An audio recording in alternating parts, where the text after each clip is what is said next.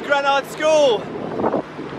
My name, as you can see from the logo on my shirt, is Super Cycling Man. And I'm aiming to cycle across all seven continents, including Antarctica, in a superhero costume. What do you think? Pretty super, huh? I've got a little secret to tell you.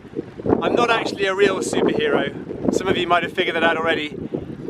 I used to be a primary school teacher in London and my real name is Will Hodson. It's been my dream for many years to cycle around the world and it feels so good to be doing it. And I really recommend that you go for your dreams, whatever they are.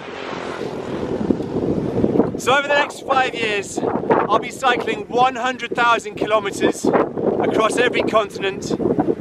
One's ever done that before and it feels so good to be doing something original. I'm aiming to raise £100,000 for Parkinson's UK. My dad has Parkinson's and another amazing organisation called Sustrans who organise the Big Pedal and several other charities. And I'm aiming to inspire 100,000 school children with school visits and video calls. Talking about how we can all be heroes by doing three things. Going for your dreams, never giving up, and being kind to others. And those things we can all do. Okay, I've had some questions sent in about my world cycle. So here we go. Number one, what countries have you been to so far? There's been 22 so far. That's England, France, Belgium, Netherlands, Germany, Switzerland, Italy, Austria, Slovakia, Hungary, Serbia, Macedonia, Greece, Turkey, Georgia, Russia, Kazakhstan, Uzbekistan, Tajikistan, Kyrgyzstan, China, and now Laos, country number 22. Okay, number two question. How do you get across rivers? Good question. Um, well, to start with, from England to France, I took the ferry across the channel. Um, but then with rivers, um, I just go over bridges or that's generally how I get across. But my, I don't have many rules, but basically if there's land, I want to cycle it. I'm trying to cycle from coast to coast across each continent. No trains, uh, no buses, no cars.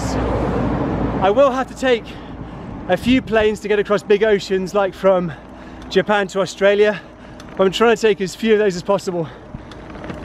Okay, number three, where do you stay at night? Well, one of the things I'm carrying around with me in all these bags is a tent. So I'm often in a tent, just camping somewhere nice, somewhere in a forest, somewhere quiet and beautiful. Sometimes you get beautiful views of mountain ranges. Uh, sometimes people really kindly invite me into their house. Sometimes people pay for a hotel room. That happened a few times in China, and that's super nice.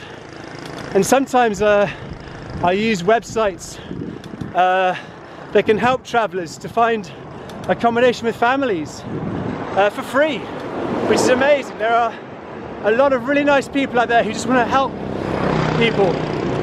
Um, the world is really not a very dangerous place. It's full of really nice people. Hello! okay, question four. Can you monitor how fast you ride? Yeah, I've got a little speedometer, so I know that up this hill, I'm going 8.8 kilometers an hour, which is pretty slow. And it tells me how far I go each day as well.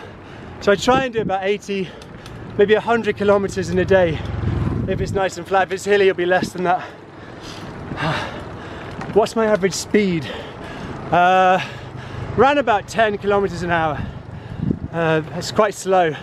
There's lots of food stops to slow me down during the day. I might eat four or maybe five times in a day.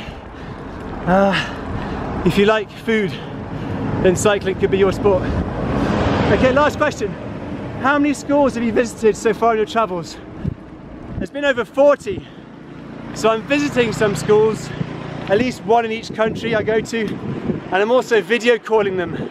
Maybe I could video call you guys. So it'd be great if you kept in touch with me as I pedal around the planet over the next few years. There's a website called www.supercyclingman.com. Yeah, no one had taken that address. I've got a, a GPS tracker which updates a live map every 10 minutes so you can see exactly where I am and learn loads about world geography. I had no idea where Laos was in the world until I started this journey. you can also send me an email with any exciting news you have or any questions you might have. If I didn't answer yours today, and my, my email address is hello at supercyclingman.com. I'd love to hear from you. And I just want to say, well done for finding time in the busy school calendar, for taking part in the big pedal, and good luck. I really hope it's a huge success, that there are so many bikes that you can almost not get through the doors. I hope everyone gets involved. Every pupil, all the staff, all the kitchen ladies, massive high five from me if you cycle in every day of the big pedal and double high five from me if you continue to get on your bike and have fun on two wheels or one wheel if that's your thing after the big pedal's over you get to see so many beautiful things out on a bike. It's good for your health, it's good for the environment, saves you money on petrol, it's faster than walking. What's not to like about it? Oh, and it's just a lot of fun too. So good luck guys. Hope a big success. Stay super out there, you little heroes. This is Super Cycling Man signing off.